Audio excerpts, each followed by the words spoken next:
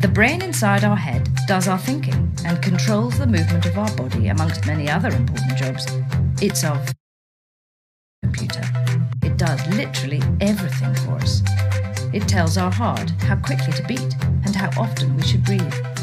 It also controls our personality and it tells our muscles when to contract when we want to do a movement. Lastly, it does our math sums for us and our creative thinking.